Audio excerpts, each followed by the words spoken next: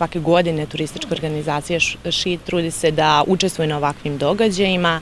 Ove godine na 52. Međunarodnom sajmu turizma od 3. do 5. oktobra.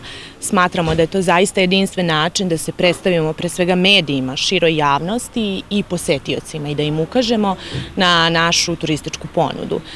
Posetioci koji su dolazili do našeg štanda uglavnom su bili zainteresovani za već naše prepoznatljive turističke lokalitete kao što to Galerija Save Šumanović, Muzej naivne umetnosti Lijanum i kulturno-istorijski spomenik Sremski front. Međutim, nekako smo se trudili da im zaista približimo i našu drugu ponudu po pitanju seoskog turizma, tako da smo sve posetioce koji su dolazili obavestili o aktuelnostima po pitanju novih smeštenih kapaciteta, po pitanju gastronomskih ponuda naših manjih naselja, vinskog turizma i naravno prirodnim lepotama koje naša opština ima. Posebno želim da istaknem jednu novinu ove godine koja je bila na sajmu, a to je etnogastronomska izložba.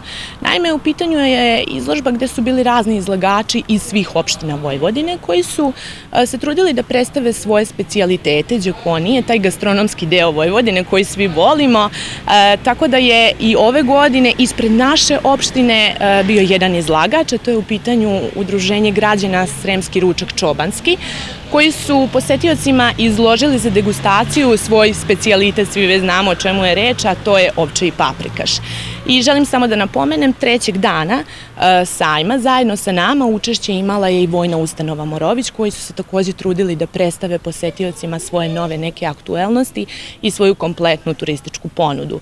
E, za neki daljni period nagovestila bih samo da planiramo neke radionice koje će uskoro biti 23. oktobra, u pitanju radionica koja se tiče baš upravo ovoga što smo se i trudili da prezentujemo na sajmu, a to je seoski turizam, kako da ga poboljšamo, kako da uh, uvrstimo u turističku ponudu i želim da nagovestim to da pravimo već planove za sledeći sajm, a to je Beogradski sajm koji se odigrava u Beogradu, gde se nadamo takođe da ćemo imati puno posetilaca i da ćemo uspeti što kvalitetnije i bolje da iznesemo našu turističku ponudu.